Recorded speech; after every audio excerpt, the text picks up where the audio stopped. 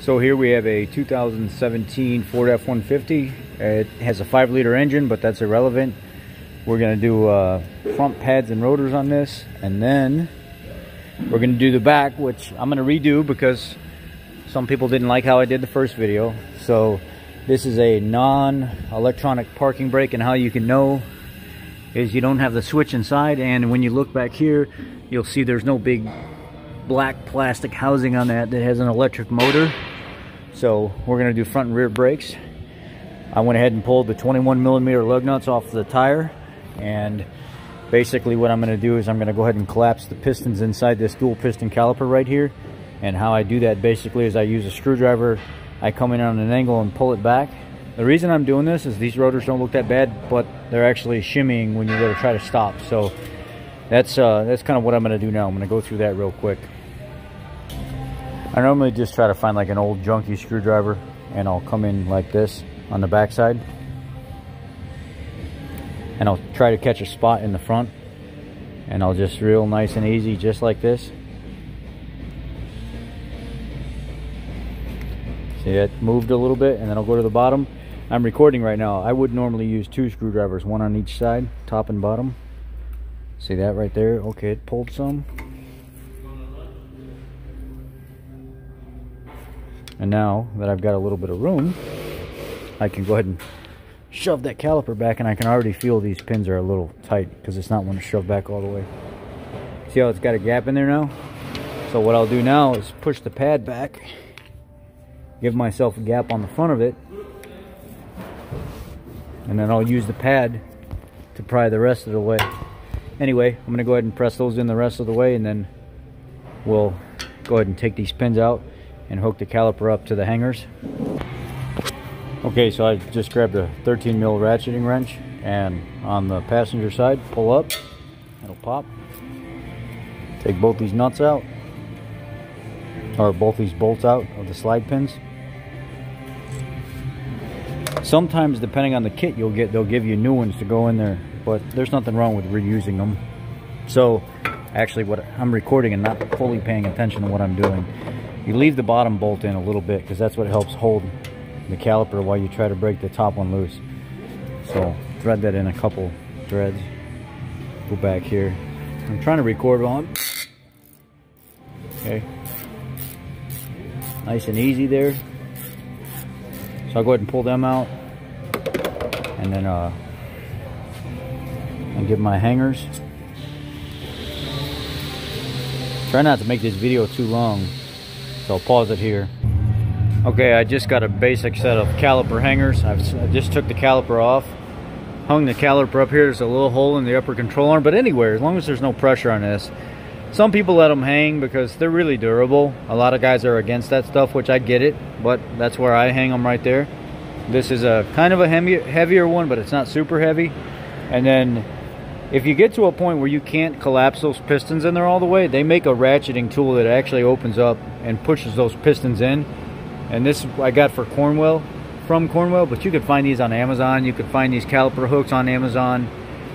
Um, but anyway, now I'm going to go ahead and pull the pads and everything off of here and work on taking these 21 millimeter bolts out here and here.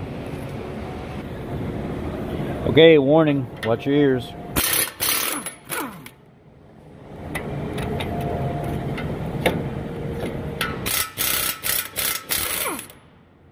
I love this little thing. It's a Flexzilla half inch drive mini. Now I'm going to pull that out, get that all cleaned up. Normally, uh, if you don't have like a tool and stuff like I do to clean everything up,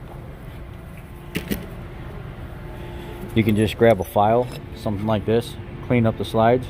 But I'm actually going to use my my angle grinder with a disc, clean all the stuff off of it.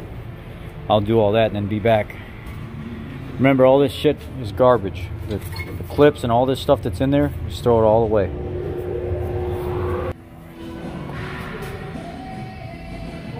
So what I got is I got a little bit of a dry brush going on here, what I call I cleaned everything off of it and then I put anti-seize all over it and then I kind of wiped it dry so nothing was just hanging off of it. And that's that's all I'm going to do for that. Now I'm going to set the rotor over the face of this.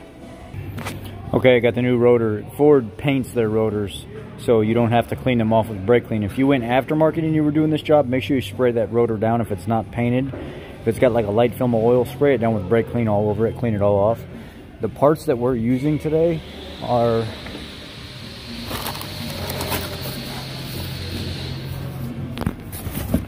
the front rotors are a JL3Z 1125-B. The front pads are a AU2Z 2V001B. Now I'm going to take this, put a little bit of dab, dab of Loctite. You can use red or you can use blue on those uh, those bolts that anchor this back in there. These here. Uh, red is what's on the factory, but blue is sufficient. And I'm going to go ahead and put these all back in there and tighten them back down. So, I've got this all mounted back up. I got the mounting bolts back up here with Loctite on them. And uh, I went ahead and put the brake pads in. Remember, this rounded side out here without these humps, that goes on the outside. And I put just a little light film of brake caliper grease here. I put a little brake caliper grease there, a little up there on all the slide points. And I also a light film of grease on the back because even though there are anti-rattle, anti-squeak pads on there already, sometimes they still make noise. It's just best practice to do it this way. Then, you know, this right here, I'm to have to pull this slide pin out of here. I'll work it out until it comes out of that boot, and then I'll clean that hole until it slides. It should be sliding like this one. You see it's not. It's all locked up. It doesn't even want to move. So I'll work on that. I'll get that cleaned up and freed up real quick. Well, as you can see here, that thing's pretty dirty. So I'm going to use some brake clean trying to get it to focus. Use some brake clean, get all this stuff off of there, get all the rust out of there, clean the hole and stuff out, re-grease it back up with a caliper slide pin grease, and then put it all back together. This boot, you just got to be careful and take a little screwdriver and just peel it off that lip right there. All they do is just basically push on the caliper and then push it onto this bolt, that's it. Alright, so I'm to try to do this one-handed, but I don't know if it's going to work. I may have to. So basically, you see, uh, you can see now it's moving real easy. That's how you want it to be moving, real, real easy like that. So now just set, set the caliper over. Sometimes those will come out some, your slide pins like here. See how it's kind of out some? Just push it in. It'll slide back over. And then Take your nuts, put them back in there.